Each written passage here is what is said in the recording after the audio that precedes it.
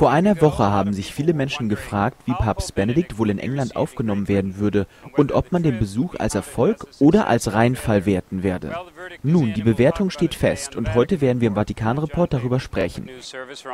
Und ich bin Cindy Button, CNS-Rom-Korrespondentin. Das Erste, was über den Papstbesuch gesagt werden muss, ist, dass die Vatikan-Vertreter über den Verlauf sehr erfreut waren. Sicherlich gab es Proteste, die größten Proteste, die Papst Benedikt jemals entgegenschlugen. Aber die Massen, die kamen, um den Papst zu hören, waren im Vergleich viel, viel größer. Und das ganze Land, vor allem die Massenmedien, schienen mit dem von ihm Gesagten einverstanden gewesen zu sein. Das war es, was dem Vatikan wichtig war. Die Menschen hörten zu. Was in Großbritannien geschah, war etwas, was wir schon vorher bei Papstbesuchen beobachtet haben. Es habe viel negative Berichte im Voraus, sogar Gerüchte, dass der Papst für sogenannte Verbrechen gegen die Menschheit verhaftet werden solle. So viele, dass die Menschen dessen überdrüssig wurden. Vielleicht war die Presse auch dessen müde. Dann, als der Papst ankam, sahen und hörten die Menschen eine reale Person, keine Medienkarikatur.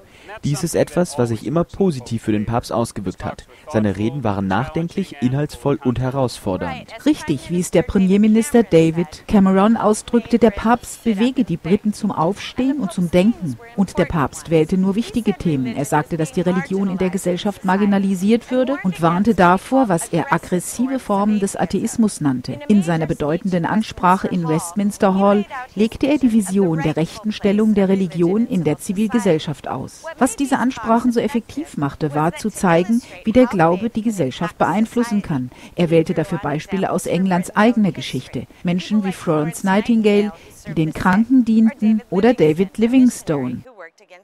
Natürlich, es sind nicht nur Ansprachen und Predigten, auf die die Menschen reagieren. Ich denke, eines der wichtigsten Ereignisse war, als der 83-Jährige mehr als eine Stunde mit 4000 Schülern verbrachte, mehr Zeit als sein Zeitplan voraussah, und zu Beginn eines anstrengenden Tages in London. Die Kinder hatten ihm eine Menge zu erzählen und der Papst war geduldig und dankbar. Das hat Eindruck auf die Leute gemacht. Eine Zeitung sagt am Folgetag, dies ist ein Papst, der sich die Zeit nahm, mit seinen Gästen liebenswürdig zu plaudern. Und diese wiederum sahen einen menschlichen Papst, keine ferne ideologische Gestalt. Also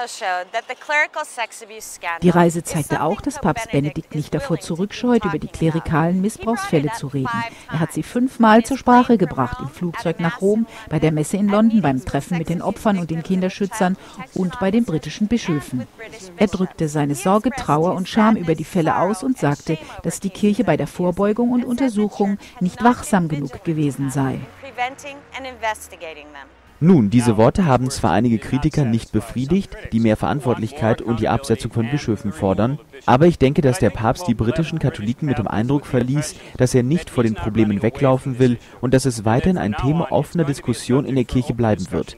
Ich bin John Tavis. Und ich bin Cindy Wooden, katholischer Nachrichtendienst.